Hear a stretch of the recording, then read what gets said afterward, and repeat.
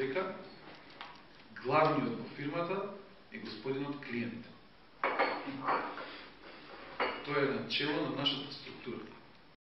Карактерот е многу важна особина за вработување на една ваква компанија. А ако не знаете, ние ќе ве научиме.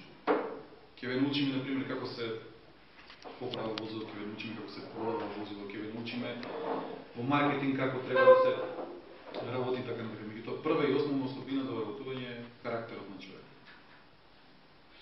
Такви се такви таков е системот за вработување кај нас да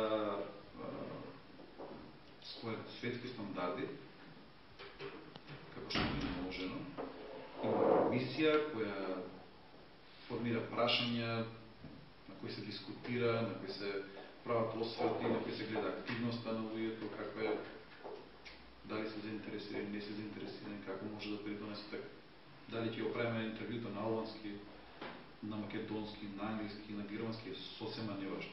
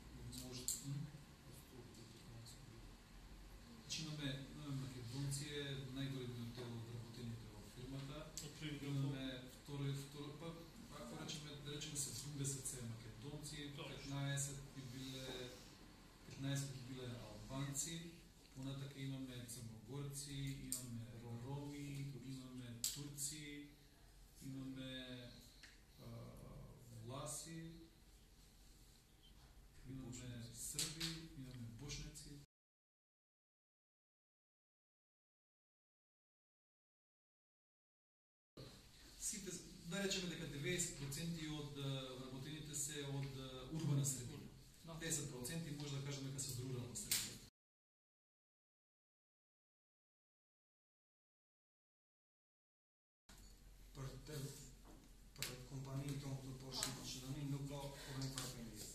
Por shkak që ne nuk e ndim vetëm këtu themi Maqedon shqiptar apo turqeli, faktikisht për neve krejt klientat janë të njëjtë. Edhe s'ka